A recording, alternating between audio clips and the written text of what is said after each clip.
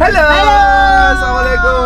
Selamat datang ke YouTube channel saya Hilman Yes. Sekali lagi dan bersama saya kali ini adalah rakan semotiviral saya iaitu Semotif. semotiviral uh, Syafa Hanif. Yes. Syafa Nisa guys atau nama Yes. lainnya Batu Bersuara. Yes. Ah. Oh my god, dah lama dah aku tak appear kat video kau. Oh, Ah, gitu. betul betul lama gila. So Kau memang kalau konten-konten yang Islamic memang tak ajak aku eh.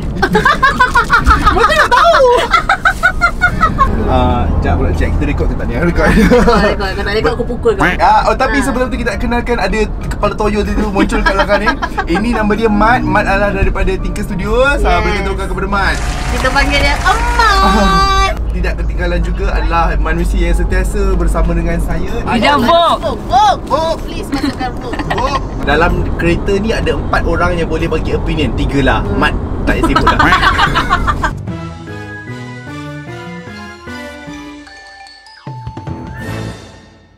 Ibu student suruh ustazah tu merangkak dalam kelas sebab katanya dikatakan ustazah tu suruh anak dia merangkak dalam kelas. Okey.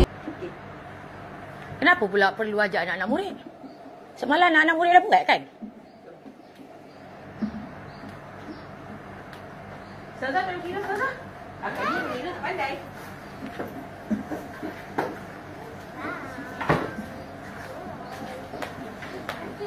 Anak-anak murid tak payah ikut lah. Saya bukannya suruh anak-anak murid buat. Fa- aku faham mungkin naluri ibu tu kuat jadi protektif. Memang of course lah seorang ibu of, of course akan macam Sayangkan anak. sayang anak dan protektif dengan anak dia punya well-being lah. Ha. Tetapi apa yang merunsingkan aku adalah kenapa ibu ini tergamak buat macam tu dekat cikgu. Sedangkan hmm. kau tahu kalau macam kita dari kecil-kecil aku tak tahu orang lain manusia yang perlu kita muliakan dalam hidup kita adalah yang pertama ibu bapa, Betul. yang kedua guru. Sebab dalam Islam itself, wah tiba aku pula masuk agama. Tak betul. Dalam dalam Islam itself knowledge is everything. Anak dia cedera ya Ida? Dia cakap nak cedera. Dia cakap anak dia cedera Mungkin betul cikgu tu salah Sebab suruh bagi denda yang sampai macam tu sekali Merangkak apa semua Kalau kau rasa cikgu tu salah Dan negara kita Aku rasa macam ada sistem tu Kau boleh se- sentiasa pergi macam buat report Untuk ambil tindakan yang setimpal Ah. Aku tak rasa dengan buat cikgu tu merangkak sekali ah. Adalah satu perkara yang setimpal Ha. Dengan apa yang cikgu tu buat Sebab negara kita ada undang-undang. Yes. Ikutlah sistem dan flow tu. Yes, dengan merangkaknya dia maka luruhlah dia punya credibility, maruah dan martabat dia seorang guru. Hmm. Seorang guru eh Kalau dia macam cikgu tu jemput datang rumah Dan suruh merangkak depan mak dia tu Aku lain lah cerita dia Yang kedua adalah respon budak-budak tu dalam kelas eh. hmm. Budak-budak tu dia ikut sekali merangkak dengan ustazah tu. Sekarang ni dekat internet semua orang macam uh, komen juga tentang benda tu. I tengok orang budak-budak yang tak matang ni pun boleh Hmm. faham situasi yang mana tengok ustazah mereka merangkak, mereka pun turut merangkak. Ada yang kata Ya. budak-budak tu pandai menyantuni ustazahnya. Bila mana aku dah dah berhijrah. Lepas aku berhijrah aku diberikan rezeki jodoh. Jodoh Okey. itu adalah dari segi berkenalan dengan orang yang beragama. Aku banyak tengok orang, aku banyak meniru cara dan gaya hidup mereka lah dan aku tak rasa perkara ini adalah beramal mengikut Islam. Memang Seperti- tidak lah sebab setengah orang cakap macam Islam itu hanya pada IC Dan konteksnya adalah selalunya ah, Kau sebenarnya Islam tapi kau tak semayang pun. Hmm. Tapi dia lebih daripada itu. Dia, Ya. le- dia lebih kepada tindak tanduk seseorang manusia itu Islam ataupun tidak. Setengah orang boleh cakap Tindakan orang yang bukan Islam tu lebih Islam daripada seorang Islam. Makanya memalukan diri kita lah sebagai seorang Islam. Mungkin dia orang tak ingat konteks di mana Islam tu sebenarnya menyeluruh Bukan saja engkau dengan Tuhan.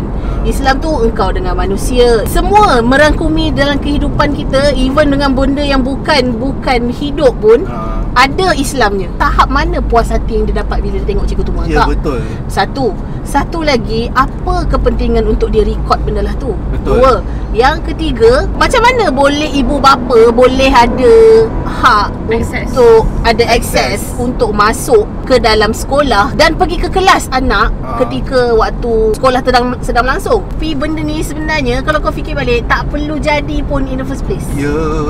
Instead of kau ambil telefon kau Kau angkat dan kau record Dan benda tu jadi viral. Ha. Sebab kalau engkau tak share Orang tak dapat video tu. Betul betul betul. Yelah sebab kita dah dah ada dekat lah multiviral So hmm. macam kita memang kaji benda lah ni kan. Benda Benda-benda macam ni Buatkan kau terfikir. Macam mana benda ni boleh start?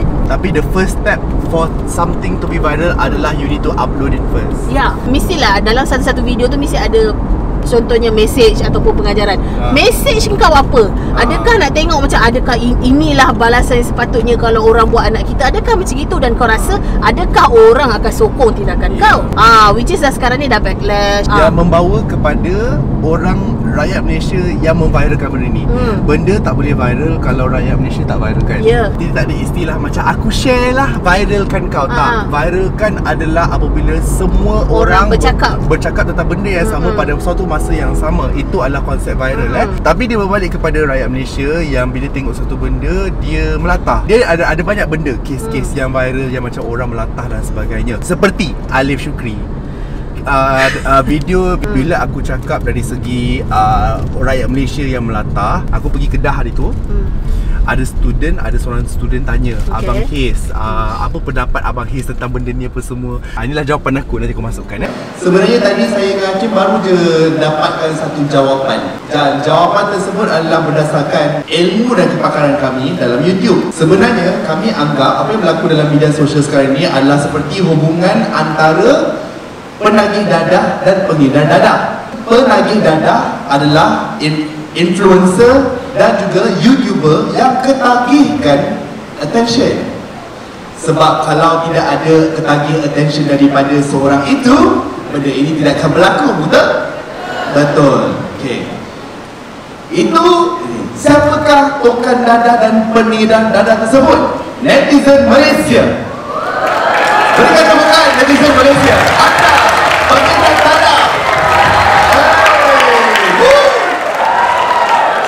Sebab apa saya kata netizen Malaysia adalah pengedar dadah? Sebab engkau tahu orang tu nak attention, engkau bagi. Kenapa? Kau tahu kau tak suka ni. Kau bagi. Engkau tahu kau tak suka ni, kau subscribe. Engkau tahu kau tak suka ni, kau involvekan diri dengan tekan klik like ataupun dislike. Aku kalau buat konten, aku sentiasa atau bercakap, aku sentiasa reflect pada diri sendiri. Dia tidak akan ada satu orang saja yang salah mesti ada penglibatan daripada kita secara tidak langsung. dalam konteks Alif Syukri dan juga uh, Ali Putih Ali, Ali Syukri versus Alif Putih tu ada seorang pernah bagi tahu aku dalam suatu perkara dan suatu pertelingkahan akan ada tiga pihak walaupun pergaduhan itu antara dua pihak contohnya aku dengan pergaduhan kau kan Ha. ada kebenaran dia Hmm. Aku ada kebenaran aku, Syafa ada kebenaran dia Tapi kebenaran yang ketiga adalah kebenaran yang sebenar Sekarang ni kan kita ramai content creator. Ha. Di sebalik konten-konten yang diorang keluarkan mesti ada niat dia. Terus Pak eh? Ya terus. Okey. terus kita ke jalan yang benar. Ke jalan yang benar. Ha, okay.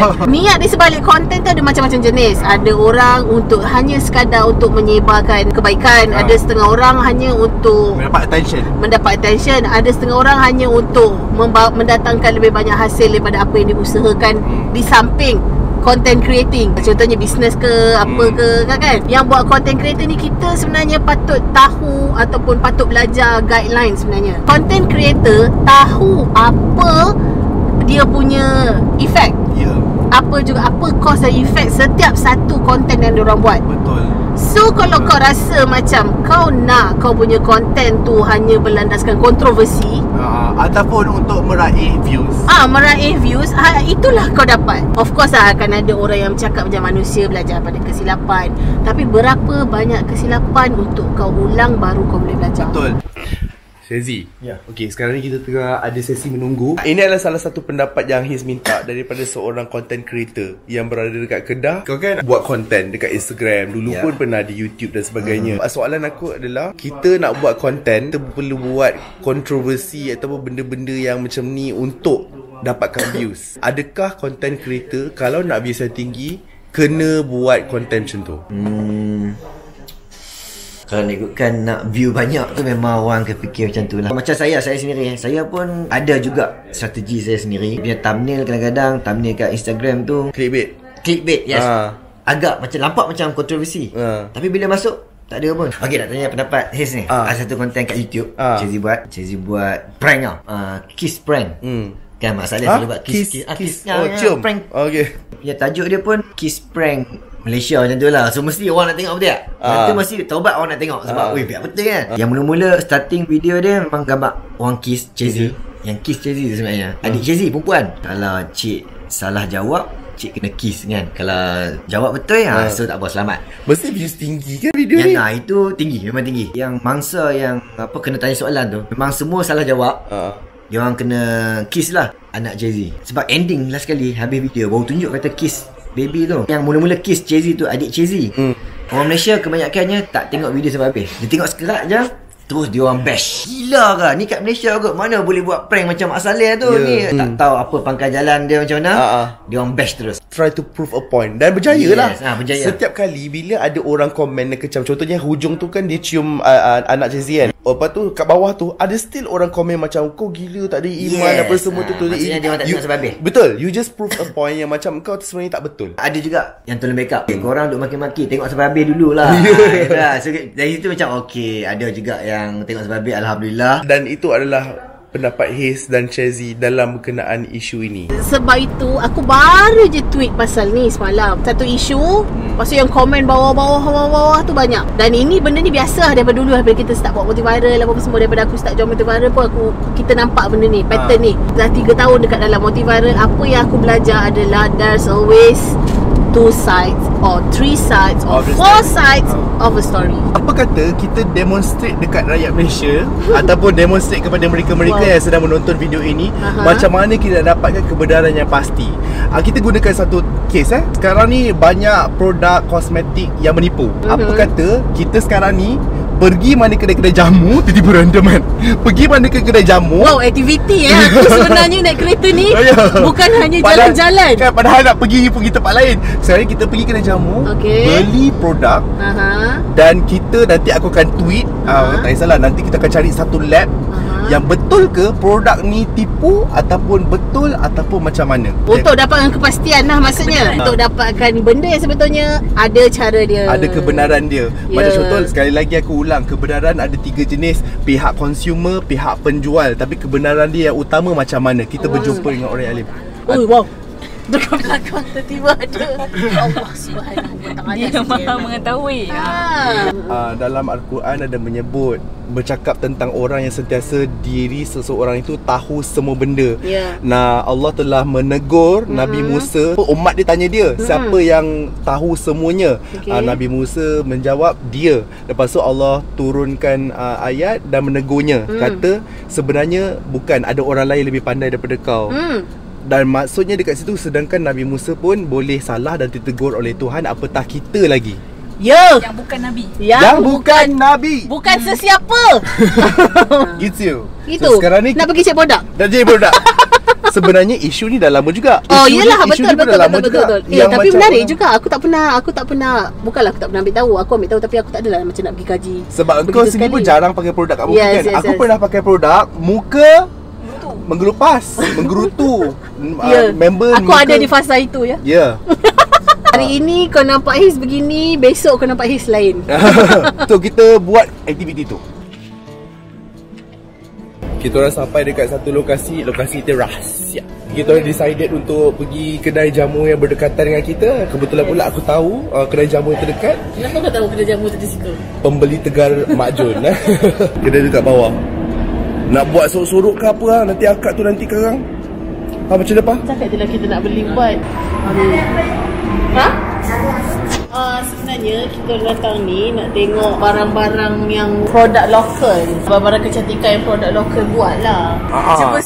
Suggest Kak, saya pernah pakai pemutih kulit dulu Tapi dia macam menghakis lah. Lepas tu Ha. Haze tweet. Haze tweeted Yes. cakap Kita orang dah beli beberapa produk-produk tempatan. Mhm. Just nak tahu macam mana Kita orang nak pergi lab mana Yang boleh tolong periksakan Barang-barang yang kita orang beli ni Bahaya ataupun tidak. Almost immediately Ada satu team tu Lab Dia Ah. kata Okay uh, Kita orang boleh tolong Haze.